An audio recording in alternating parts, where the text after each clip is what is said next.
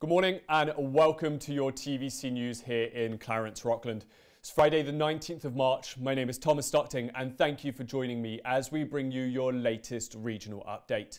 In your headlines this week, COVID 19 latest in Prescott Russell, Ottawa River flooding risk is assessed, changes to the Hawkesbury water treatment plant, road closures in Clarence Rockland, and an extract from this week's episode of our show In Your Ward with Councillor Simard.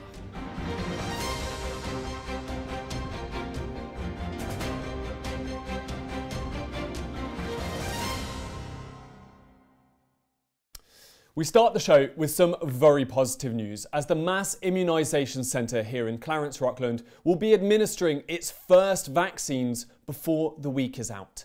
The online booking system for residents aged over 80 years old in Ontario went online on Monday, the 15th of March, though there were some difficulties. Many people reported errors, with the page saying the form has been tampered with, an issue that persevered for most of the day. However, Dr. Paul Roumeliotis of the Eastern Ontario Health Unit told the press on Monday night that the error had been fixed. Whether it be online or over the phone, many residents from Clarence Rockland were successfully able to book their vaccine appointments, which will be administered at the Jean Marc Lalonde Arena as of today. Despite this positive news, though, there are further concerns regarding the VOCs, the variants of concern, as Dr. Paul Roumeliotis explains. Things uh, regarding our, our, our cases. Um, what what we've been seeing now is again uh, the situation has been that and the rest of the province that we're about 40% provincially of all um, positive cases uh, have been uh, mutation, the, mu- the, mutation, the VOCs, the variants of concern, and uh, most of those have been in UK. Uh, in fact, in our area right now, we have 40 VOCs, again, all over the Central Health Unit area. Um, and um, just to give you an idea, um, on February 25th, uh, our percentage of VOCs um, uh, from our positives were 13.6%. Uh, March 1st to 7th, it was 27%. Uh, and now March 3rd to 9th is what we do previous seven days. Uh, was 28.4%. So 28.4% of our positives over the last week now have been VOCs, which again, the provincial number is about 40% in terms of those numbers. Now, uh, I know that somebody had asked me uh, in the media in the, in the questions here uh, from from uh, the media before about uh, VOCs and which type they are. The ministry has changed right now. When there's the mutation, the uh, 5011 mutation picked up, they assume automatically it's the UK. If there's another mutation, that's a different type, a different number. I forgot the number, but if they do have that number, um, that mutation, then they would go and do the genomic sequencing. So in our situation, all but one were UK, presumably UK. So we'll keep an eye on that. But again, um, another another uh, uh, reminder, very strong reminder that we're we really need to make sure that we follow the public health measures uh, and and uh, and and understand that this this form, this variant, actually transmits itself much more easily when a lapse occurs. So it's important, important. Although we know how we can contain it. Uh, fortunately, we when we had an outbreak uh, in one of the one of the factories a couple of weeks ago with three cases, they were contained because we took action immediately. But again, if you lose track, if you if you lose control of them, they they spread to dozens and dozens of people, literally that we've seen across the province. So I think we're lucky in that regard, but we still have to be very very careful uh, moving forward um, uh, with that.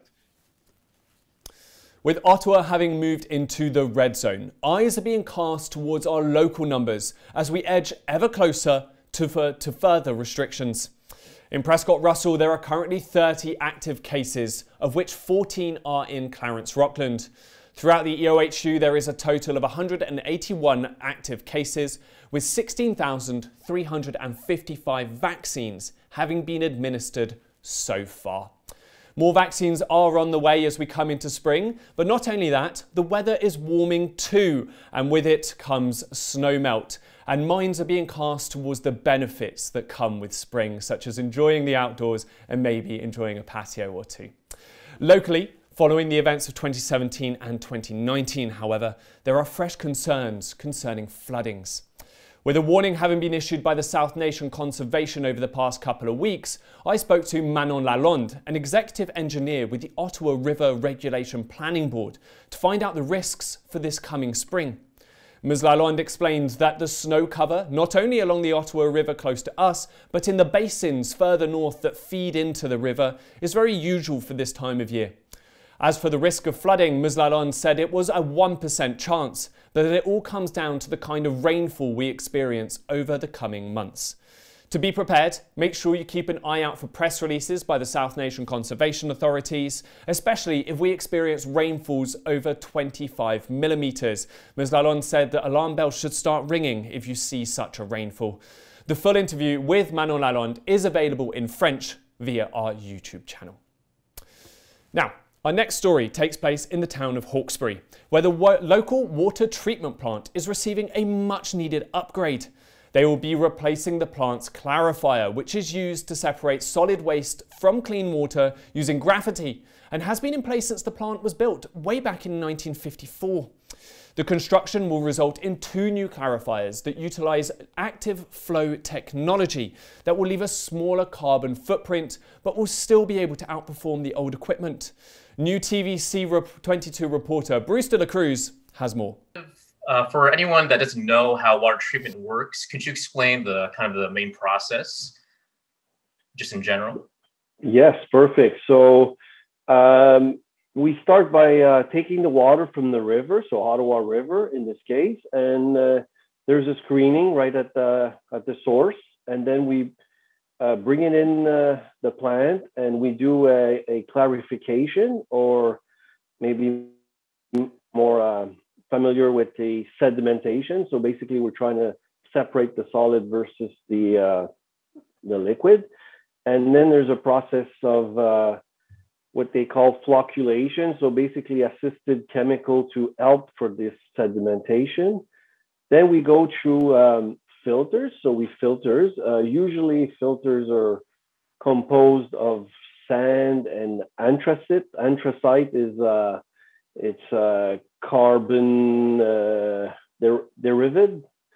Uh, and then after it's um, filtered, we um, we do um, uh, disinfection. So we use, uh, in this case, chlorine, and then we disinfect and uh, we store it and after uh, uh, we could add uh, fluoride in the water for um, for for purpose of uh, fluoridation, or even uh, in this case, we also use a, a corrosion inhibitor. So, so, basically, what does mean is uh, we have iron piping in in Hawkesbury, so.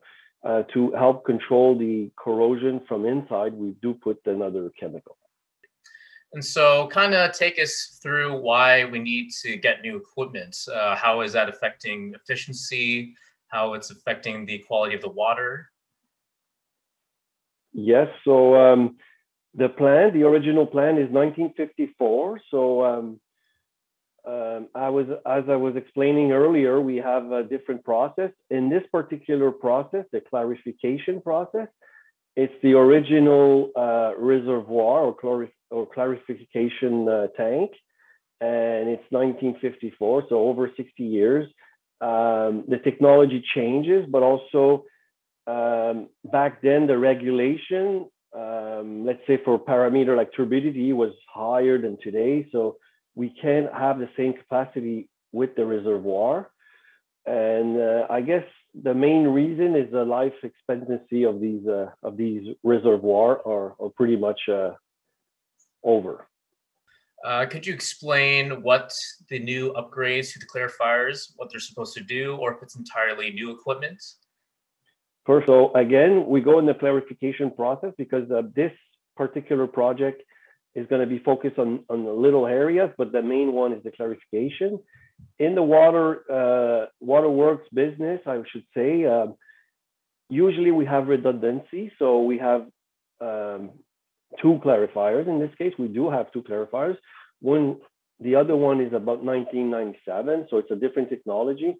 Um, so we can talk about that after. But in this case, it's more like uh, um, the this technology is uh, is well known for for this kind of area the water of the Ottawa River has color, which is a parameter that we're looking at, and uh, the technology we're going to put in, um, which is a high rate clarifier. So basically going fast and we can produce fast water, good water. And uh, it, it, it, made us prove all over the world, but especially in the Ottawa River. Um, I think uh, Rockland has one. I think uh, Gatineau, Lefaivre, all in this area. So this technology has proved them uh, very efficient for this kind of, of uh, source water.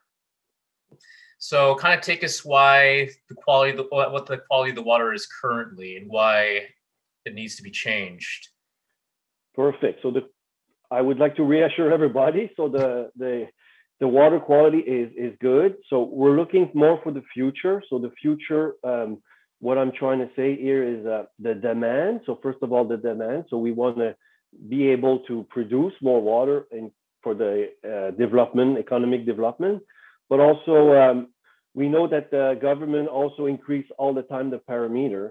So I was talking earlier about this particular unit that we're we're going to take offline is was set was set or designed for so many uh, cubic meters back then with these parameters, but now with the new parameters, it couldn't produce the same water.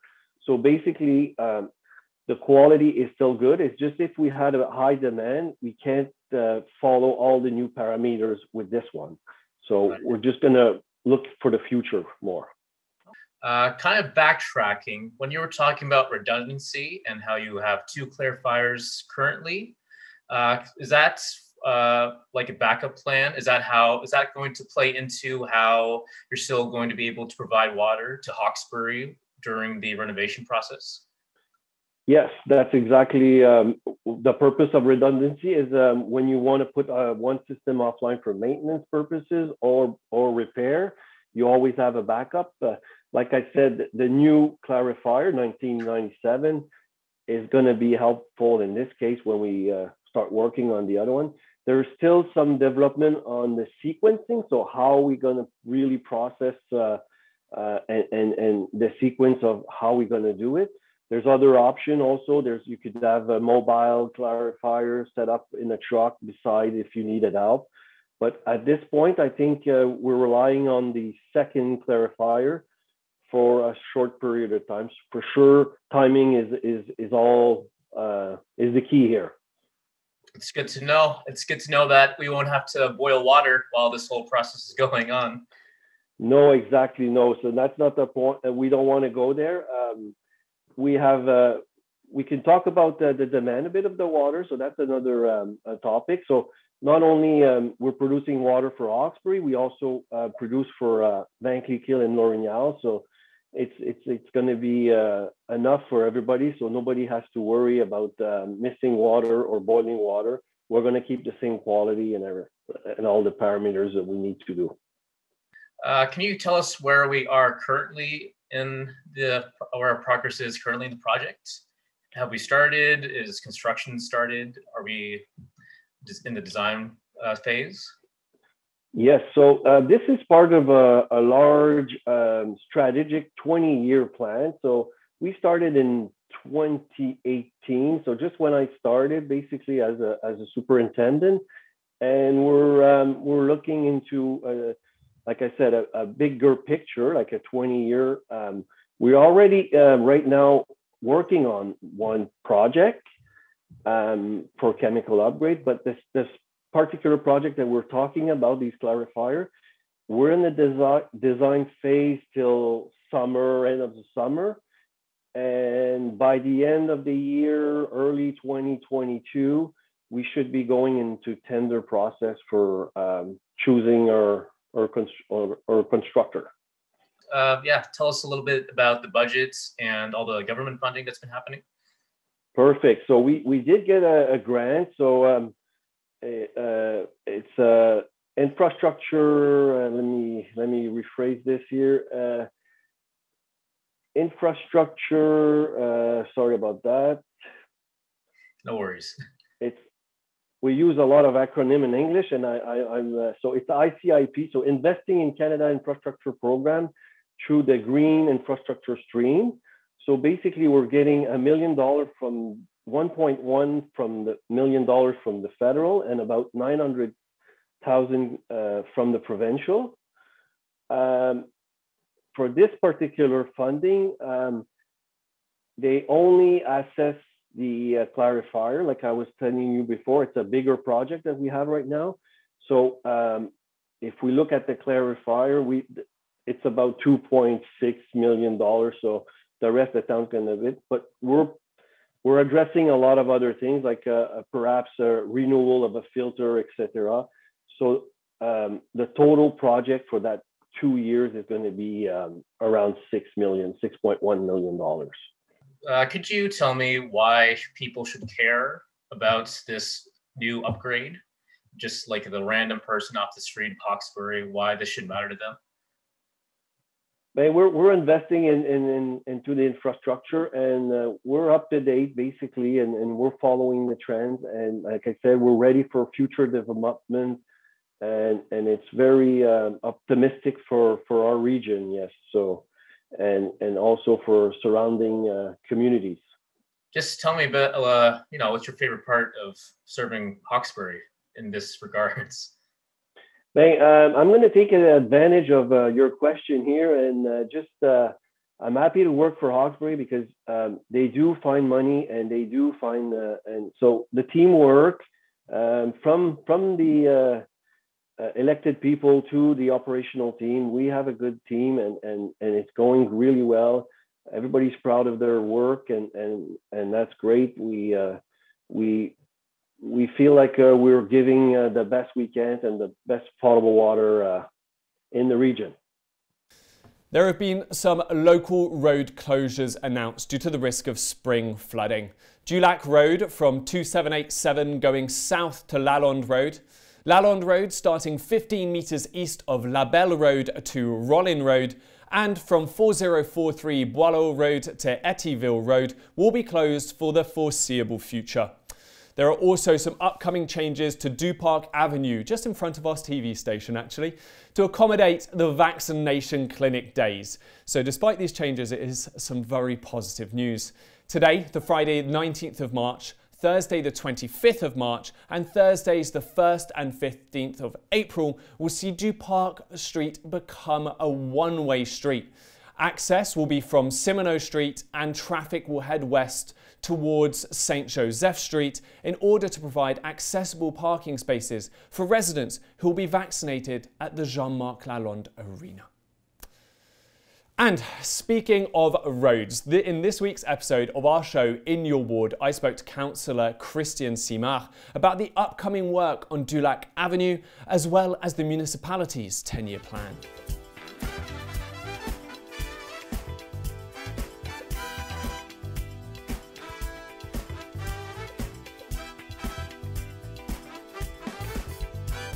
Hello and welcome back to part two of episode six here of our show in the wards. We are of course still in Ward 6 speaking to Councillor for Ward 6, Mr Christian Simard. And uh, as stated at the end of the first half of the show, the second half is a topical issue. And today we're touching very much on Christian's uh, construction and infrastructure knowledge as we embark a little bit on some of the big taxpayer costs for the city. We're stood on Chemin and before we dive into this road specifically, and when I say dive in, I mean if I can get my feet out of the mud for a second, yeah. um, let's talk about, about roads and infrastructure in themselves because they are the biggest ticket item when it comes to budget, right? They're, they are so expensive for the taxpayer. It's what really determines how high the how high the tax percentage is going to be. So, what is the reason councils so pump so much money and have such a high high interest in resurfacing and redoing roads? Roads are the biggest complaint we that I actually I get as a counselor. Yeah. If there's something wrong, we Saint Pascal is a, a big community. Lots of like we're all far apart, so lots of roads, but that's all we've got pretty much. We've got the community center, the church, postal office. That's pretty much it. But roads is what people do not have something to say about. It's what's going to cost them the most money if something. If the roads are bad, they're late for work. It costs them money the roads are bad, they have a misalignment on the car, they have to realign the car, cost them money. So it, it's it's really an issue. So one of those for like to give people a little bit of perspective about it when budget and tax season comes around and you see how much your percentage is going up in terms of how much you're going to have to pay that year and you see how much is put on roads it's, a, it's actually an investment it's people investing their tax dollar into the road to be able to ensure that as you say they're not late for work and mm-hmm. they don't have issues with their cars uh, as i stated at the start of this we are stood in uh, chemin du lac yeah. Uh, it's, a, it's a lac road du lac road there yeah. you go in english um, talk to us a little bit about Chemin du Lac because uh, I lived in the Falkland Islands for a couple of years and this road is very reminiscent of the roads I see down there. So Chemin du Lac was a paved road, asphalt road that wasn't touched for probably over 30 years. So Some portions were done, mm -hmm. but it was really in, uh, it, it, was pitiful. Um, so I actually have videos of following a bus with my kids on the bus because I had to go pick them up, um, going 15 kilometers an hour on Chemin du Lac. And it, that's because the bus was forced to go that slow, was it? That's it. It was so rough. The, the need pull, the, the uh, potholes were so big that you couldn't go faster than that. Uh, it, it, was horrible. It was so dangerous that the city, uh, it wasn't even planned, and the city had to pulverize the road back into gravel road because uh, for liability reasons, so we wouldn't get uh, sued for somebody getting killed even because it was so rough. And talk to us a little bit about um, the different kinds of road surfaces there, because you mentioned asphalt. It is not asphalt now, is it? No, it isn't. Right now it's gravel. Well, it's the asphalt grounded up and the gravel that was underneath that is mixed together. That's what we have right now. Mm -hmm. So you have asphalt, gravel, or uh, surface treatment. There is something called also scratch coat, but it's just a top layer of asphalt on top of existing asphalt also. So there's going to be, the reason why we are stood on this particular road and we're talking about this topic is because there is a big investment coming into redoing this, this road, isn't it? So talk to us about how much money the city is about to put into this road and uh, what are you doing with it? Okay, so we have 5.1 kilometers of road to be done. So from uh, the uh, south end of uh, du Lac to the north end mm -hmm. until baseline. Uh, we're, it's going to cost 1.1 million dollar just to do surface treatment. Um, if we would have wanted to have real asphalt, it would have cost 1.7. Okay. With that, we're going to be changing the uh, culvert that's over there, and uh, everything. When we're going to do it, well, all depends how when the water lower water table lowers and all that. When we do uh, for the to changing that culvert, because we have to do the culvert before we start uh, doing the road surface. So the culvert down there, why is it so important to replace that one? Right now, it is past his uh, his lifetime expectancy, mm -hmm. and uh, you don't want to wait too long. That has a you create a sinkhole or something like that. And you mentioned that. Uh, the, the road hadn't had much done on it in over three decades there. Um, what was the reason why this road got into such a state of disarray and why it was left it was left untreated for so long? So in the past, they had they had a plan of how to do the roads, but the plan was whoever yells the loudest yep. would have the road done. So the counselor that would want, so the counselor would decide who would have which road done. Now it's a different process. It's a 10-year plan. Mm -hmm. So there's a counselor, uh, consultant that comes and tells you, uh, ask you questions. Well, what's the like? How many people goes in on the road? How many people will um, like that. So how many people? So how many people will uh, the, travel on the road? How many people lives on the road? Um, is it a main artery? Is it a collector road that other little street goes to and stuff like that? So with the what the counselor tells them how like so it used to be a little bit more of a free-for-all is what you're saying, essentially. Yes. So councillors would just come up and, as you say, in a council meeting, shout the loudest about the road that they're probably being shouted about, as you say, because it's the thing that has the most complaints. That's it. Uh, whereas now there's a little bit more of a constructed plan. When was this 10-year plan put in place? Uh, in 2014 or 15, I think. It was that. It was the 2014 council yes, then, it was, was, it? They, so, they put it in. So to the 10-year plan, am I right in saying that's the asset management plan? It is. It's okay. part of it. Part of it. Yes, because the asset management plan is ev it's everything, everything that's an asset to the city. Mm -hmm. uh, but every city's asset management is different a little bit. like some people, some cities will say, well, uh, ditches are an asset, yeah. but other people know it's not an asset, it's drainage for your asset, which is the road. So it all depends on which city you're talking to about it. So us, the uh, ditches are not part of our asset management. The road is. So, so, what is what is the benefit of having an asset management plan like this in place? It's you you know what's coming up. It's being proactive instead of being reactive. Mm-hmm. So that way you can manage your money better. You know so with the reserves and all that, you know, well, I'll put a little bit more money aside, put a little bit more money aside. Like last year, we put two hundred and eleven thousand uh, dollars in the reserve, and the year before that was a hundred and something. Uh, so every that's going to come back every year because that went with the it goes with your tax hike. Mm-hmm. So that comes back every year. So we can do a little bit more, just a little bit more.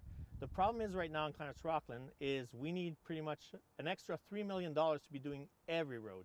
Okay.